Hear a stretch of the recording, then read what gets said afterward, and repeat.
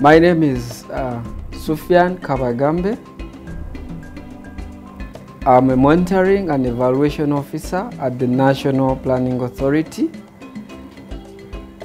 I'm proud to be a UPE beneficiary. I benefited from the UPE program at its inception when it started in 1997 and it made a firm foundation for my life. Growing up from an extended family, the UPE program gave me an opportunity to access free education, which I am proud of. This foundation has made me the person that you see right now. And I'm grateful to government for this program.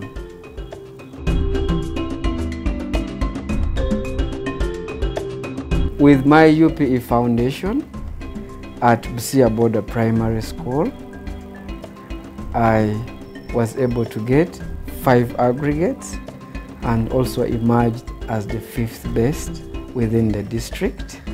Uh, during my time at, at the UPE school, we met some challenges. We were so many in the class and the teachers were not enough to make sure that every child in class learns or is learning.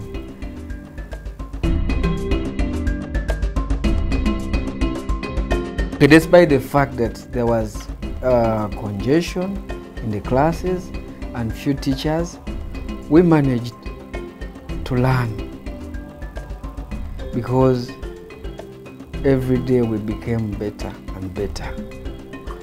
I am thankful to the government for this opportunity that gave an opportunity to people like me and my other colleagues who are not here to have the chance to have education.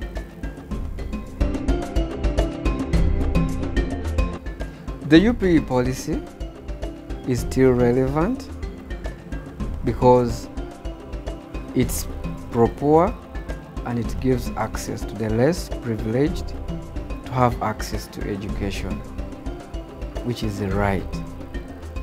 However, issues around its quality and sustainability require greater focus from government. Thank you so much for God and my country.